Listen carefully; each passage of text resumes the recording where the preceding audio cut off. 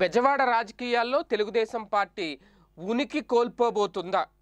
ఈ నేపథ్యంలోనే తెలుగుదేశం పార్టీకి చెందిన కొంతమంది కీలక నేతల విషయంలో నారా చంద్రబాబు నాయుడు గారు ఒక కీలక నిర్ణయం తీసుకోబోతున్నారు అనేది ప్రధానంగా జరుగుతున్న ప్రచారం. రెండు వేల పంతొమ్మిది ఎన్నికల తర్వాత ఘోర ఓటమిని చవిచూసింది తెలుగుదేశం పార్టీ. ఆ తర్వాత జరిగిన మొన్న రీసెంట్గా జరిగిన పంచాయతీ ఎన్నికలు కానివ్వండి మొన్న జరిగిన మున్సిపల్ ఎన్నికల ఫలితాలు కానివ్వండి మరింత నిరాశ మిగిల్చింది. అయితే దీనికి కారణం పార్టీ అధిష్టానం కాదు పార్టీలో ఉన్న నేతలే ఇందుకు కారణం అని చెప్పి ఆలస్యంగా తెలిసి వచ్చిందంట దీనికి తోడు ప్రధానంగా బెజవాడలో ముదురుతున్న వర్గపోరు తెలుగుదేశం పార్టీలో. కేసినేని నాని వర్గం వేరు బుద్ధ వెంకన్న వర్గం వేరు అన్నట్టు వాళ్ళే బాహాటంగా వచ్చి మాట్లాడడం తర్వాత ఏదో సర్దుమణిగింది సర్దుకుపోయామని చెప్పుకుంటున్నా సరే మనసులో ఉన్న ఆ కసి అంతా మొత్తం బయట పెట్టుకున్నారు. వాళ్ళ ద్వేషం అంతా ప్రజలకి తెలిసేలా చేశారు. ఫలితంగా కనీసం ఒక్క కార్పొరేషన్ కూడా దక్కించుకోలేకపోయింది తెలుగుదేశం పార్టీ. కేవలం రెండు మున్సిపాలిటీలకే పరిమితమైంది డెబ్బై ఐదు మున్సిపాలిటీల్లో.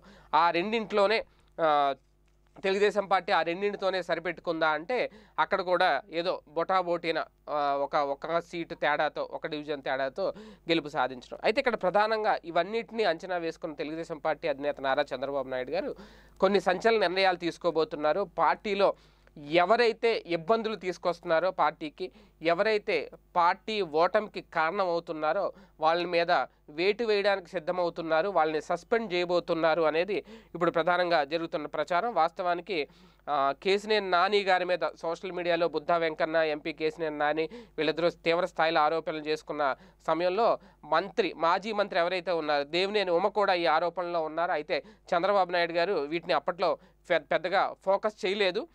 లైట్ తీసుకున్నారు. కానీ ఇప్పుడు ఎప్పుడైతే కార్పొరేషన్ ఎన్నికల్లో తెలుగుదేశం పార్టీ ఓటమిని చవిచూసిందో ఇప్పుడు ప్రధానంగా ఈ గ్రూప్ రాజకీయాలు ఈ వర్గ విభేదాలు ఒకళ్ళ మీద ఒకళ్ళు లేనిపోని ఆరోపణలు చేసుకోవడం ఒకే పార్టీలో ఉంటూ ఇవే పార్టీని కొంప ముంచాయి అనే ఆలోచనలో ఉన్నారంట నారా చంద్రబాబు నాయుడు గారు. అందుకే కాస్తంత సీరియస్గా ముందుకు వెళ్ళబోతున్నారు.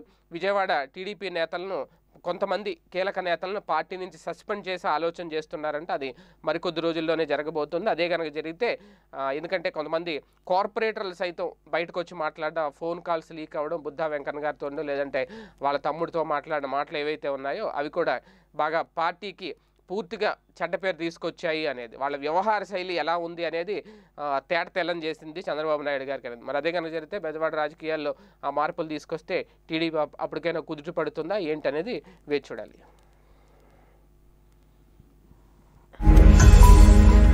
ఈ వీడియో గనుక మీకు నచ్చినట్లయితే లైక్ చేయండి షేర్ చేయండి.